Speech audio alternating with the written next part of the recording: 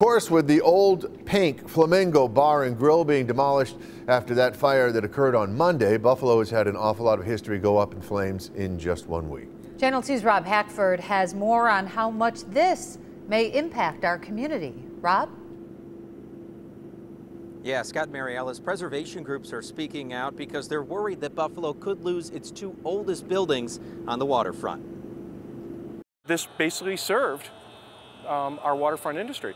Paul McDonald, president of the Campaign for Greater Buffalo, has been part of efforts to save the recently fire damaged cobblestone buildings for over a decade because of their historical significance during the era of the Erie Canal. This was a blacksmith shop.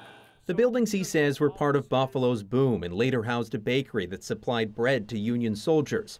They are now the last two pre Civil War buildings that once dominated the waterfront. This whole area was littered with uh, with buildings that basically supported the shipping industry here in Buffalo. Boilers, uh, metallurgists. McDonald says the campaign for Greater Buffalo sued the owner in 2011, trying to stop early neglect. He says the fire is part of a pattern of problems through the years and why preservationists are now doubling down. Buffalo's quote unquote renaissance has happened because of our historic architecture. There's not a lot of new construction in Buffalo, but there is a lot of historic rehab. Gwen Howard is chair of the Buffalo Preservation Board. We've been spending millions and millions and millions of dollars to recreate the cobblestone district with new buildings to replace what has been lost. But here we have the final remaining buildings, the only ones from that period. Everything is stable underneath that.